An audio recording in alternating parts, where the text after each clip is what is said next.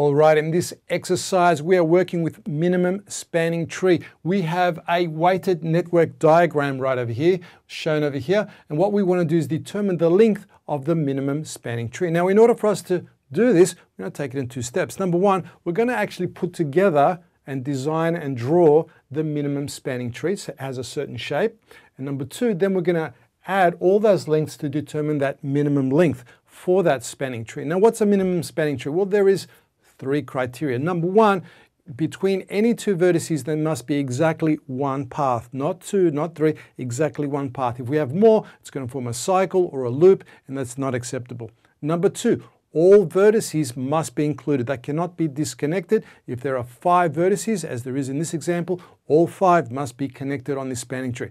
And number three, for a minimum spanning tree, minimum spanning tree, there is n vertices, means we'll have n minus 1 edges. What does that mean? It means there's always one fewer or one less edges than there are vertices. So in this example, we've got one, two, three, four, five, five vertices. That means we're going to have four edges in this minimum spanning tree.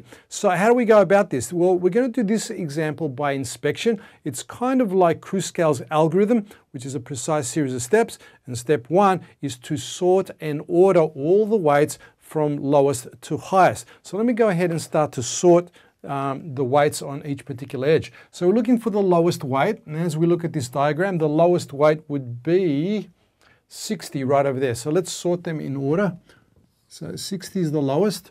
Do we have 65? Do we have 70? Yes, we have 70 right there.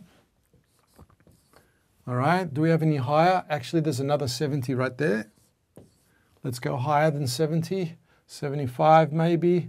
No, no 75. 110, 85. Okay, 80 is next. 90, 80. There's 80. Okay, we hit 80. We're not going to find, we're not going to go for 85 and 90. Why is that? Because we have, as I said earlier, five vertices. One, two, three, four, five. And we need how many edges?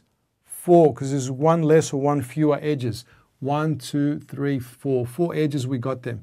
So we're looking for that length. If we add them all together, we should get 0, uh, 14, 14, that's going to give us 228. So the minimum spanning tree length should be 280, based on these weights on these edges. So let's design it and see if it fits and how it works together. So let's have a look here. So the first thing you might want to do is mark in the edges. So we're going to do a rough sketch of this minimum spanning tree. And step number one, what I like to do is put in those vertices. So let's put the vertices. We have one up here for P. So let's say that's P right over there. Let's put P there. We'll put Q right there. R there roughly. S can go here, T can go there. Now, one, two, three, four, five, that's a good check. We have five. Let me just draw some rough lines in between them, just lightly. So uh, there, there, there, there, very lightly. Just want to get a rough. Okay, that's good. Our minimum spanning tree will be inside this diagram here. So now let's go with the edges. Now the lowest edge was 60. So this is like Kruskal's algorithm. We're going to go, we're going to sort these edges from lowest to highest. So 60 is the lowest. So 60 is the one from Q to R. That'll be right there. So that's going to be this length right over here.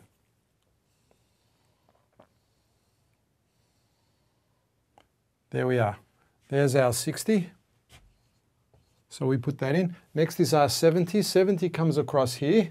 Notice we don't have another 70 here, otherwise that will form a cycle and you can't have a cycle in a minimum spanning tree. So let's put the 70 in. So I'll just connect that. All right, there we go. There's our 70. We also have another 70. There it is right there. So let me connect that. All right, there's that 70. That's connected. And the next one is 80. That's that curve around here. There's our 80. I'm going to mark it across here. So there's our minimum spanning tree. Let me just get rid of that, that one, and that one, and that one. That is our minimum spanning tree. I'd like to mark out each particular weight. So we have our 60 there. We have our 70 here. We have 70 here. and we have 80 right here.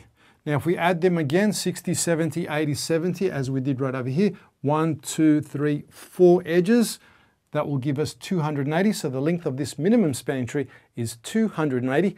Every single vertex is included. One, two, three, four, five. One, two, three, four, five. Every single vertex is connected. So therefore, there's the shape of our minimum spanning tree, and the length for this minimum spanning tree is 280. Hope that helps.